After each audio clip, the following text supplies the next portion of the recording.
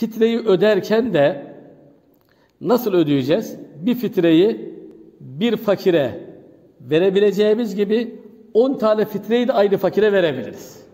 Ama bir fitreyi ikiye bölüp birisini bir fakire, birisini bir fakire veremeyiz.